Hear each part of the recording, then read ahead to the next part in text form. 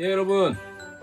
행복한 크리스마스, 따뜻한 크리스마스 보내시고, 그렇게 행복한 날, 저희와 함께 콘서트장에서 만났으면 좋겠습니다.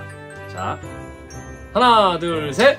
Merry Christmas! Happy New Year!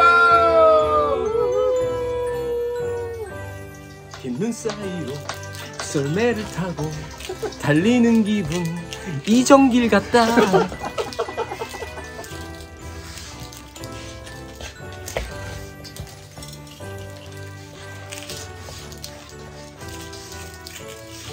이거 이제 청소를 해놓고 그거 뭐냐